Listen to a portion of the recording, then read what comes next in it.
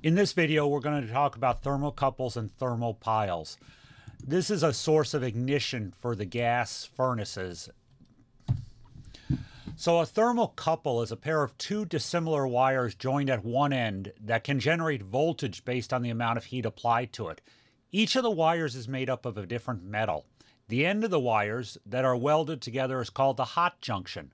The under, other end of the wires is called the cold junction and it's connected into the circuitry. Since thermocouples are made up of two dissimilar metals and have a variety of different metals, the different metals produce different voltages.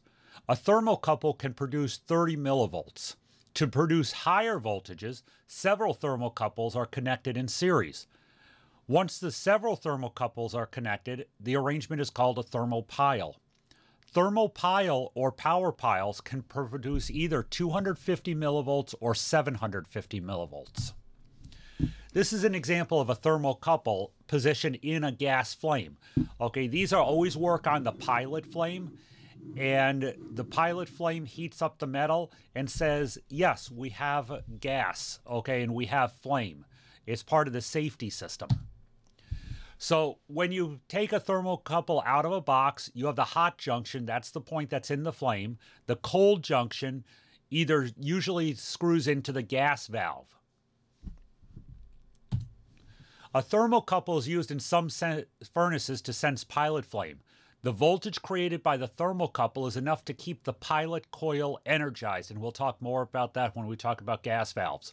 The pilot coil is like a solenoid that will stay pulled in after being moved and voltage is applied to the coil by a thermocouple. This voltage that's provided by the thermocouple does not have enough power to open the valve it has enough power to provide the solenoid magnetism to keep the valve open. If the pilot flame goes out, the thermocouple cools and the voltage drops to zero.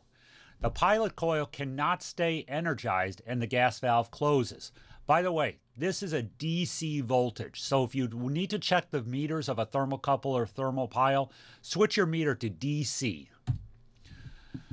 So a thermopile is 25 thermocouples put in series. This greatly increases the DC voltage output, increasing the current available to do the work.